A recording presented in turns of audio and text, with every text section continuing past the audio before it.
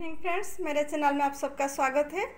आज हम बनाने वाले हैं टमाटर डोसा। चलिए, पहले हमने टमाटर लिए, जिसको हमने बॉईल करके उसका ऊपर का जो परत है, उसको निकाल दिए हैं।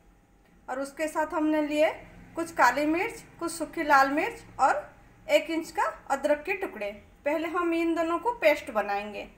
और हमने लिए प्याज, धनिया का पत्ते, स्वाद अनुसार नमक और डोसा का बेटर जो पहले हमारे पास अवेलेबल थी। चलिए बनाते हैं टमाटो डोसा।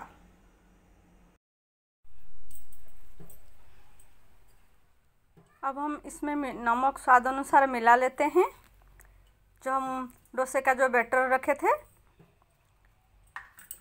टमाटर का जो पेस्ट बनाए थे मसाले के साथ, उसको भी इसके साथ मिला लेते हैं।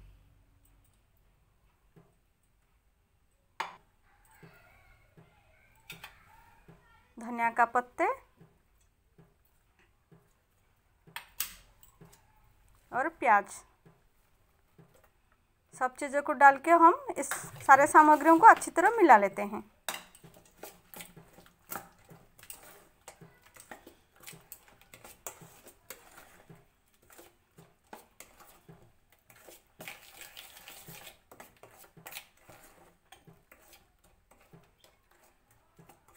अभी हम चलते हैं। डोसा तैयार करते हैं।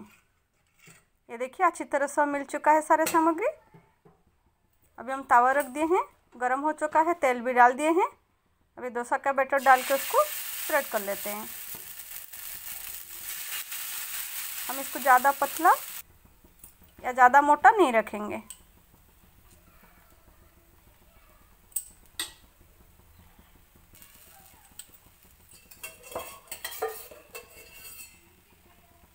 ऊपर से थोड़ा सा तेल डाल देते हैं और उसको फिर पलट देते हैं।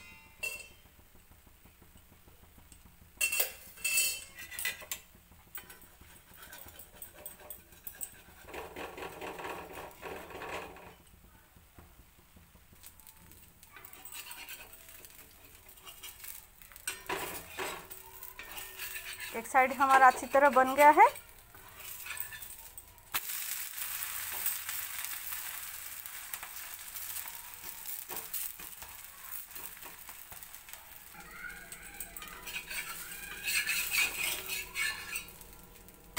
निकाल लिए हैं एक।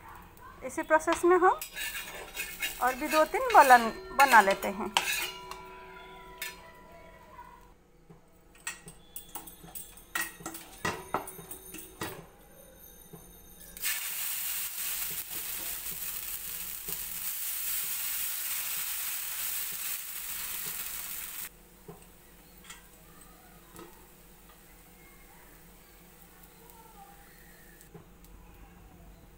ऊपर से और थोड़ा तेल डाल देते हैं।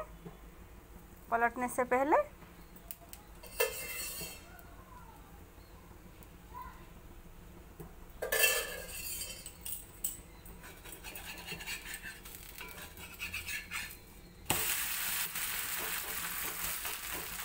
इस प्रकार का डोसा बनाएँगे तो हमको इसमें चटनी का ज़रूरत नहीं पड़ेगी। ऐसे ही वो काफ़ी टेस्ट होता है, क्योंकि इसमें सारे सामग्री मिल जाता है। टमाटर, प्याज सब कुछ। बन के रेडी हो हो रहा है हमारा डोसा।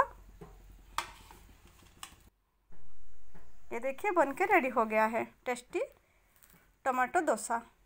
चलिए, खाते हैं।